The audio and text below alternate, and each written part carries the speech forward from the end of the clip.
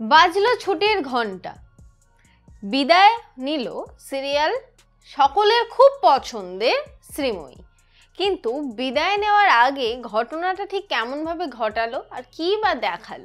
তো আমি ভাবলাম যে এই নিয়ে একটা আলোচনা সভা বসানো যাক। মানে আমি বলব, তোমরা শোনো, তারপরে তোমরা যখন রিপ্লাই করবে সেটা আসবে কমেন্টে তো সেখানে আমি রিপ্লাই করব এবং তোমাদের সকলের সাথে কথা বলব। তো বিদায়তে যেটা দেখানো হলো যে রোহিত সেন মারা গেছে।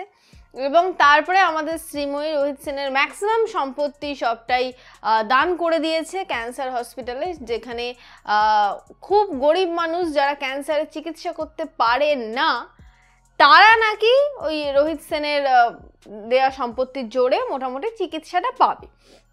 ভালো কথা। আচ্ছা জাম্ম নাকি ফিরছে, অঙ্কিতার সাথে নাকি একটা ফ্ল্যাট নিয়ে বেশ ভালোভাবে থাকবে। অর্ণা আর ডিঙ্কা নাকি দু এক সপ্তাহের মধ্যে মুম্বাইতে চলে যাবে। দিঠি আর ছোটু বেশ ভালোভাবে সংসার করছে। শ্রীময়ীর এখন অনেকটা দায় মুক্ত এইদিকে আমাদের বাড়িতে রয়েছে তিনজন বয়স্কা মানুষ, বয়স্ক এবং বয়স্কা। জেঠিমা, রোহিত সেনের জেঠিমা। শ্রীময়ীর এক্স শ্বশুর ও এক্স শাশুড়ি। তো এদেরকে নাকি মাঝে মাঝে শ্রীময়ী এসে দেখে যাবে কারণ শ্রীময়ী এই মুহূর্তে দূরে কোনো একটা হোমে চলে যাচ্ছে বয়স্ক মানুষদের সেবা করার কাজ নিয়ে। আর এইদিকে আহ, রোহিত সেনের বিদেশে যে বাড়িটা ছিল সেইখানটায় সে সিদ্ধান্ত নেয় যে ওইখানে একটা লাইব্রেরি করে দেওয়া হবে। আর এই যে বাড়িটাতে রয়েছে সবাই, তো এই বাড়িটা বাড়ি থাকবে, এই বাড়ির দরজা সকলের জন্য খোলা থাকবে, কারণ রোহিত সেন সেটাই চাইতো। তো রোহিত সেনের মারা যাওয়ার কারণে আমাদের জুন আন্টিও ভালো হয়ে গেল। জুন আন্টি নিজে নিজে ভেতর থেকে সেলফ রিয়েলাইজেশনটাকে মুডটাকে অন করল এবং সে বুঝতে পারল যে শ্রীময়ীর সাথে আর আমার কোনো ঝামেলা থাকতে পারে না, কোনো দ্বন্দ্ব থাকতে পারে না। আমি বেসিক্যালি একটা হেরে যাওয়া লুজার একটা মানুষ, তো আমি চলে যাব। তো বেশ ভালো কথা, আমাদের জুন আন্টি যাতে না যায়, সেই কথাও শ্রীময়ী চিঠি লিখে জানিয়ে দিয়ে গেল এবং বলল যে, সবাই ভালো থেকো। আমি মাঝে মাঝে আসব। মিঠুদি বাড়ির বয়স্কদের খেয়াল রাখবে। মোটামুটি সবাইকে দায়িত্ব টাইত্ব দিয়ে আমাদের শ্রীময়ী চলে গেলেন। মানে পুরোপুরি চলে গেলেন না, তিনি একটা হোমে চলে গেলেন। একটা সময় শ্রীময়ী যে পরিমাণে লাফালাফি, ঝাপাঝাপি শুরু করে দিয়েছিল। মানে সিরিয়াল শ্রীময়ী তাতে করে সত্যি আর নেওয়া যাচ্ছিল না। এবার দর্শক মহল অনেকে বলতেই পারে যে সিরিয়াল শ্রীময়ীটা শেষ হয়ে গেল, শান্তি পেলে তো? হ্যাঁ হয়তো অনেকে শান্তি পেল।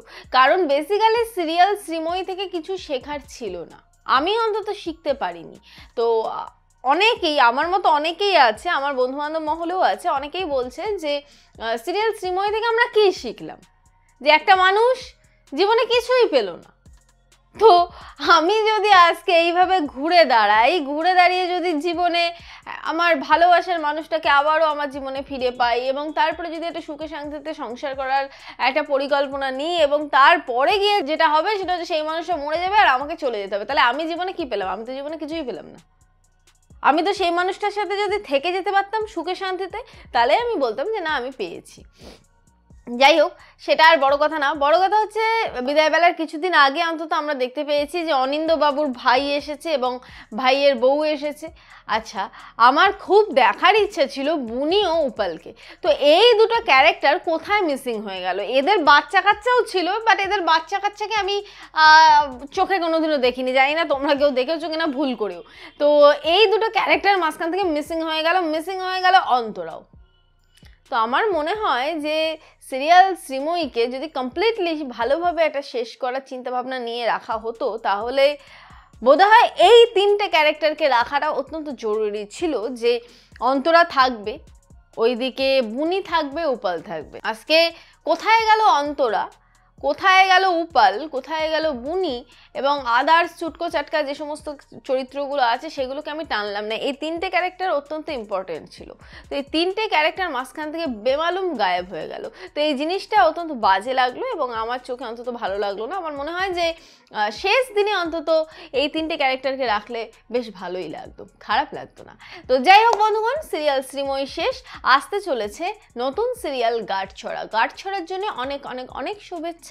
কারণ শোনা যাচ্ছে সিরিয়াল গার্ড ছড়া একটু অন্য ধাতের হবে এবং আশা করা যাচ্ছে দর্শক মহলের খুব কাছের এবং খুব পছন্দের একটি সিরিয়াল হবে।